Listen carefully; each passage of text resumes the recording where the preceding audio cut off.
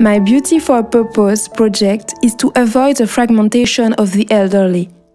Nowadays, in Guadeloupe and all over the world, the population is getting older and older. Soon, five generations will meet, and in few years, people over 65 years old will represent a quarter of the population.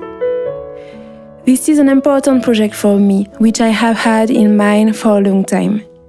Indeed, one year ago, I had to take care of my great grandmother, and the time I spent with her made me realize that she was old, but yet a dynamic and strong woman. She taught me a lot of things, as well as I taught her too.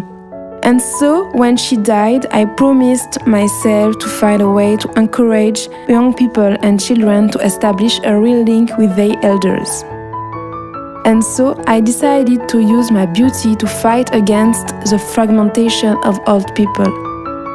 I want to alert the general public to the importance of the solidarity between generations.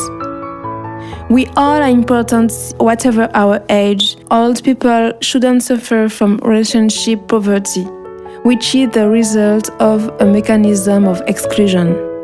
To achieve my goal, I have had a partnership with La Maison des Aînés, a health center for the elderly, and with my hometown, Baie-Mahault. Together, we have planned many cross generational meetings between elderly people, young people, and children around many activities. During those meetings, we have practiced some activities like reading, dancing, tai chi, art with flowers, and many more two generations together, one with its future ahead, the other with a long past behind. But for both of them, the most important thing is the present to act, share, and love now. My goal for elderly people share experiences, life stories, value them, discover new activities. My goal for young people be aware of the differences develop solidarity and mutual respect between generations.